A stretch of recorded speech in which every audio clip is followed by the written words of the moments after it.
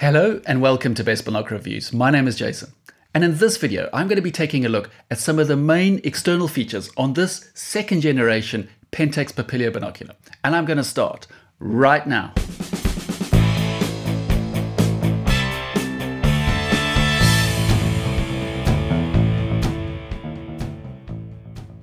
Certainly one of the most interesting, versatile, and therefore most useful compacts that I've ever come across. The original Pentax Papilio has for me personally been a firm favorite for many, many years. And therefore, it's been fantastic for me to finally get the opportunity to catch up with the new Generation 2 Pentax Papilio, just to see what Pentax has decided to change on them and indeed what has stayed the same. So in this video, I'm going to be taking a look mostly at the external features and components on this 8.5 times 21 millimeter version of the Pentax 2 Papilio binocular. But just note, Pentax also produces this in a 6.5 times variant. However, to the best of my knowledge, and I'm pretty certain on this, um, most of, if not all, the exterior components and features are exactly the same, whichever model you go for. And therefore this video will be applicable to either version. Right, so quickly, before I begin, I just want to reiterate that the scope of this video is purely that of the external features and components on these binoculars for the full review where I go into way, way more detail and include things like um, the optics, the quality of the view under different light situations, as well as in, um, include things like a specification and comparison charts uh, between these binoculars and other similar compacts that I have with me, and indeed, obviously, other compacts that I've used and tested in the past. Um, the full review, as I say, will be on the BBR website, the link to which will be down in the description below. You know, as much as I would like to include everything in these video reviews. Um, for one, it would just become too long, and two, the things like those charts, uh, etc., like that, just don't come across very well on, in a video format. So what I suggest you do is, if possible, watch this video in its entirety. This will give you a really good understanding and feeling of, of what to expect when holding and using the binocular and how to use it. And then from then you can delve much deeper click on by clicking on the link, going through to the website and, and take a look at every single aspect of these binoculars. Apart from a few small details here and there, the overall body design and shape of the new Papilio 2 has not changed that much from the original, and thus unless you look really closely it can actually be quite difficult to tell them apart. Personally, I think this is a good thing, as I've always found the Papilio binocular to be very comfortable to hold and easy to use. And thus I assume Pentax's thinking here was there's no need to change or fix something that isn't broken. Pentax Sport Optics has gone with a fairly thin but relatively soft rubber exterior armor that has a smooth, almost velvet-like finish to it. This not only looks great, but it certainly adds to their modern and quite expensive appearance.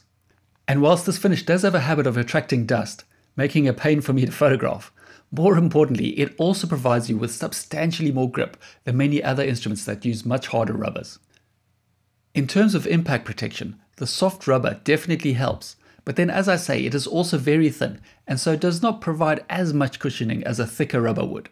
However, this is a small, lightweight binocular, and so I think what it has is adequate. And besides, in my experience, it is often the case that thick, soft rubber armors do often perish a little more easily and can often slip about on top of the chassis, which is certainly not an issue on these Papilio binoculars that I tested. Its location and just how you use the focus wheel is all pretty standard stuff but it is what happens inside the body as you turn the wheel that is quite different from your average binocular. And this is what makes the Pentax Papilio binoculars special and is why they are able to focus at such close distances. You see, the close focus distance on a typical binocular is in part restricted by the distance between the objective lenses. This is because at very close ranges, you get a misalignment of the left and right image fields because nearby objects have a larger parallax than more distant ones when observed from different positions, which in this case is the two objective lenses. So to overcome this and reduce the minimum focus distance, Pentax uses an ingenious system that they call their CLOSE system, which stands for Convergent Lens Optical System Engineering, where they place the objective lenses on tracks that are not parallel to each other. So as you can see, as I turn the focus wheel to focus on a nearby object, the lenses move down the barrels away from your eyes, but at the same time, they get closer and closer towards each other. turning the wheel in the opposite direction to focus on a more distant object moves the lenses back up the barrels and closer to your eyes, but at the same time they are also moving further apart from each other. And thus by doing this, Pentax has created a binocular that not only allows you to view objects far off in the distance as you would normally, but it also enables you to obtain a sharp, clear image at just 50 centimeters or 1.6 feet away from you. I found the wheel itself to turn extremely smoothly, and it takes just over three full turns to move the plane of focus from one extreme to the other. Now this gearing is far lower than what you find on most normal standard pairs of binoculars, and thus it takes a little longer than normal to make large focal adjustments. However, on the positive side, this gearing, along with the extremely smooth focus mechanism, makes fine-tuning the focus to get the image 100% sharp a little easier to do than what you would find normally to be the case. Unlike most Porroprism compacts that incorporate a single central hinge, the Pentax Papilio has two hinges, so one for each eyepiece. These have a mechanism hidden within the body that connects them together, and thus, when you adjust one, it also moves the other by the same amount, and thus they essentially behave in a similar fashion to a single hinge. Now I found this mechanism to be nice and smooth, and the eyepieces open and close with just enough resistance to ensure they remain at your desired setting. Speaking of which, you can adjust them so that the eye cups go from a minimum distance of 5.6 centimeters apart right up to 7.4 centimeters. This wide IPD range is very good, and therefore they should be able to accommodate a wider range of faces than many binoculars can. This includes those with closer set eyes, so here I'm thinking along the lines of children, which because of their other aspects, like their relatively low cost, small size, and wide field of view, makes them an excellent choice as a binocular for kids. The majority of compacts, and most certainly reverse Porro prism compacts like these, are not tripod adaptable. By this I mean they are not designed with being able to easily attach onto a tripod in mind, which I guess for most users will be of little consequence. However, I can think of quite a few situations and users, like for example scenery artists on location, a scientist studying or sketching insects, for example, taking photos through the binocular with your phone and using an adapter would be another one, where being able to perfectly steady the view on your binoculars and be able to train the binocular in a specific direction and have it remain there hands free would be of great importance. Thus, I feel it is certainly a welcome feature and one of the many instances of the great attention to the small details that Pentax has shown with this instrument and once again certainly adds to their versatility and range of uses. Just a quick note before we move on. The way that the Pentax Papilio binoculars are designed to attach to your tripod is slightly different to most binoculars that I would describe as being tripod adaptable. This is actually quite a good thing, as the standard quarter inch thread is located on the underside of the body and not on the front hinge as you normally find. This means that it is not necessary to have a special tripod adapter but you do need to be careful to have a tripod head or tripod mounting plate that does not get in the way of the rest of the body. Whilst many compact binoculars will opt for the far simpler fold-down design of eyecup, probably to save on manufacturing costs, I can gladly report that like the older version, Pentax have gone with the twist-up design of eyecup, which, if made well, do offer a more precise way of adjusting the level of eye relief to your specific requirements. Once again, I can happily report that the eye caps on these Papilio 2 binoculars are indeed pretty well made. And by that I mean the eye caps fit nice and firmly onto the housings under them, so that there is very little free play. They also click nice and firmly into each of the three fixed click stop positions. This, in combination with a fairly generous, for a compact, 15mm of eye relief, meant that I could use the binocular both with and without my eyeglasses on, and be able to take in the full view without any dark rings forming on the edges. As with most binoculars, to adjust the diopter setting on the Pentax Papilio, you simply turn the ring located on the right eyepiece housing. For those of you who are unaware, the diopter enables you to make adjustments to this side of the binocular separately to the other, and thus be able to compensate for any differences in vision between your left and right eyes. you can take a look at an article that I have on calibrating and focusing your binoculars for more information on the BBR website.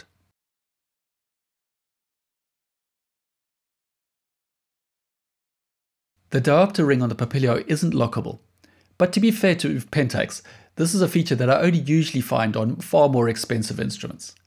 However, they do have a series of fine, closely spaced click stops that go some way in helping to prevent unwanted movement, and thus I feel that these are certainly better than the majority that you will find at this price level.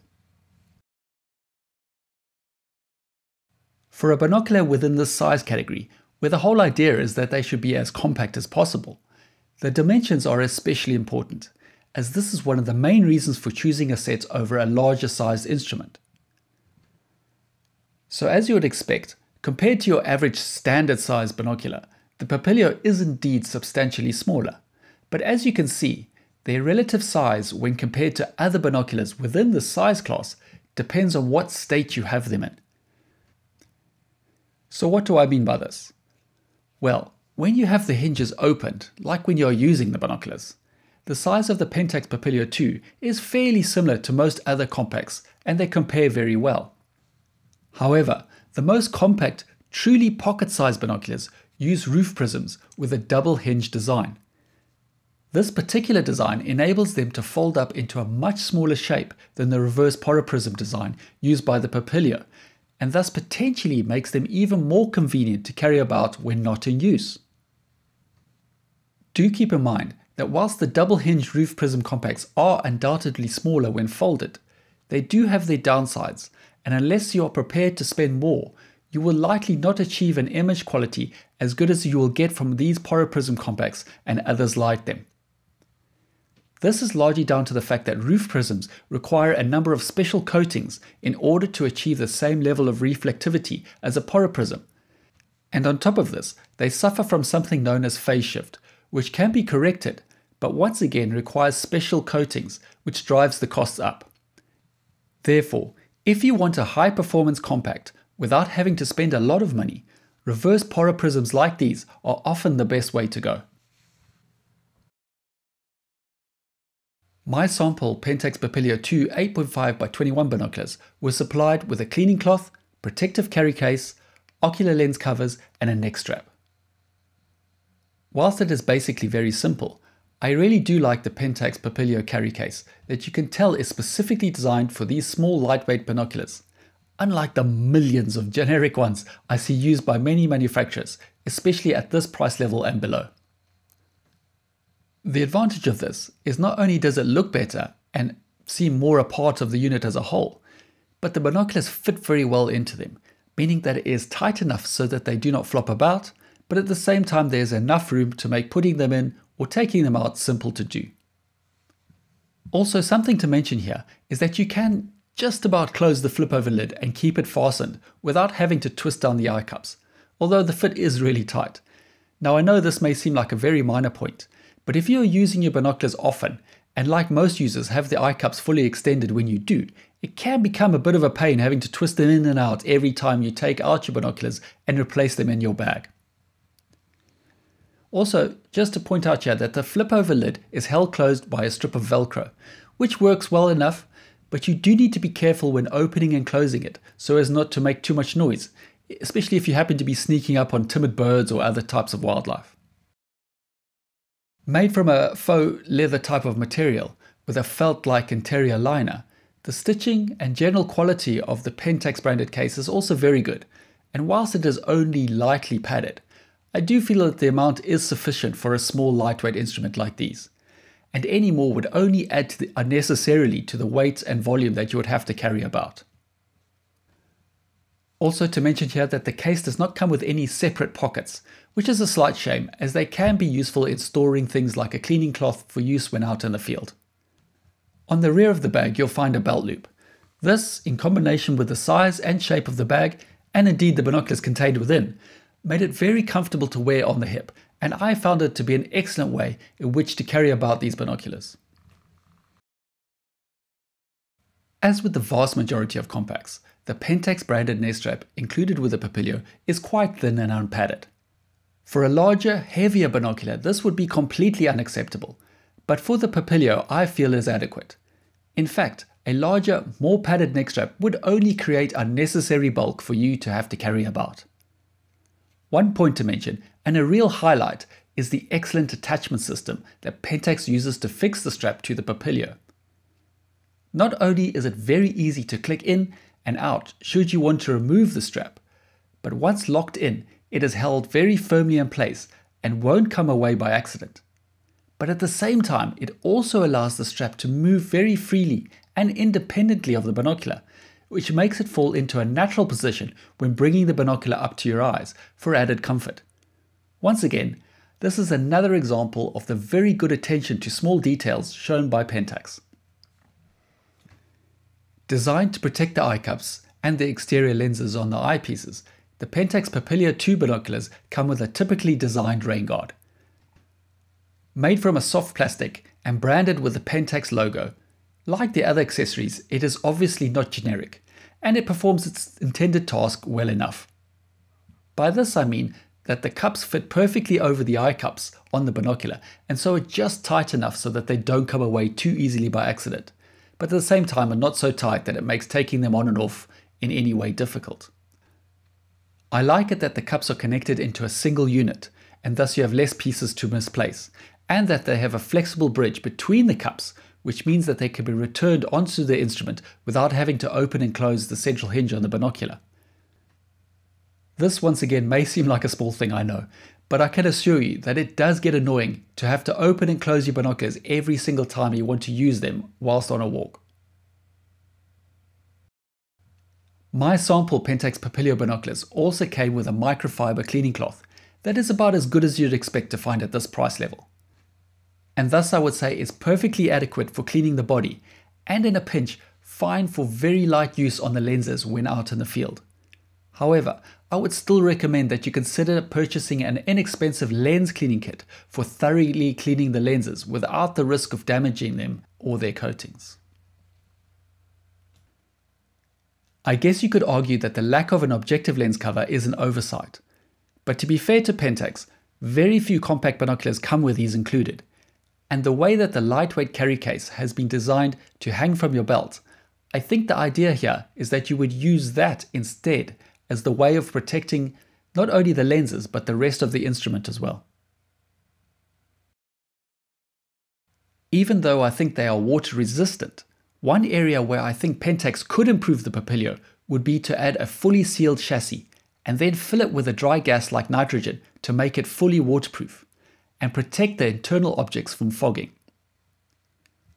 Although having said that, being careful, I have never had an issue with them in the past, but I am careful and would not consider taking them out on an activity like canoeing where the chance of them getting wet is really high. So if they were fully waterproof, this would open them up to even more potential users, making them even more versatile than what they already are. Right, okay, so there you have it. I do hope that this video has been of both use and of interest to you. If it has, as always, I would seriously appreciate a thumbs up. And if at all possible, please do remember to subscribe to the channel. It really does help me to continue to produce more and more stuff like this for you. Also, if you have any comments, thoughts, or opinions, please feel free to use the section down below, and I will, as always, I'll do my very best to get back to you. Also, as I mentioned at the start of the video, you know, for the full review where you will get way, way more information that I just couldn't include in this video. I will also obviously talk about the quality of the view and compare it to other similar types of binoculars. Check out the link in the description that'll take you through to the BBR website. So I'm going to leave it there for now and say thank you very much for watching and I'll see you again soon. Cheers for now.